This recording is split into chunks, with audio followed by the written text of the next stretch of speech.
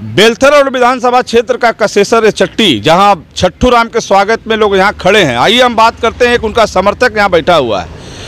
एक ज़माने में, एक समय में बहुजन समाज पार्टी का पक्का समर्थक ये व्यक्ति था।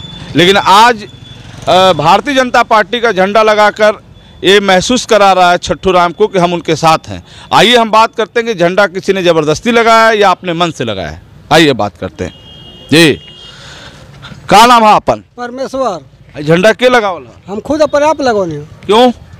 जब छोटे राम राम के संगे बने हम तो। तुम तो बहुजन समाज पार्टी में थे ना? बानी तो का करते तो बहुजन समाज पार्टी में नहीं हो? ना ना। तो छट्टू राम जी का स्वागत में लगाए हो? छोटू राम को स्वागत में लगाया छट्टू राम जी को कब से जानते हो? छोटू राम को बहुत पहले जानता हूँ। अरे कब से जानते हो? कई साल पहले से।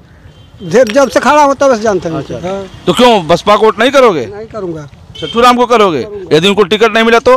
टिकट क्यों नहीं मिलेगा? मिलेगा? मिलेगा क्यों नहीं? मिले तो कहाँ जाओगे? नहीं मिलेगा तो उसके बाद देखा जाएगा। अपने पार्टी पुराने पार्टी में चले जाओगे? पुराने पार्टी में किसने हाँ उन्हीं के साथ रहोगे? उन्हीं के साथ रहूँगा। अच्छा। तो कब से काम करते हो? ढेर दिन हो गए दस बारह बारह साल से। तो छठू राम को अपना नेता मानते हो? उनके स्वागत में आज खड़े हाँ? अपने स्वागत में खड़े हो? चलो तो सब सबसे बड़ी बात है छट्टू राम के स्वागत में झंडा लगा खड़े हो और उनको वोट करोगे उनके साथ रहोगे।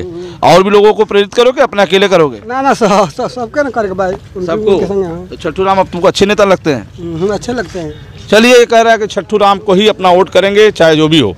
और बैनर पोस्टर और भारतीय जनता पार्टी का झंडा लगाकर ये महसूस करा रहा है कि अ, हम उनके साथ हैं। तो दोस्तों परिवर्तन की लहर कब कहाँ चल जाए, कैसे चल जाए, कहाँ नहीं जा सकता।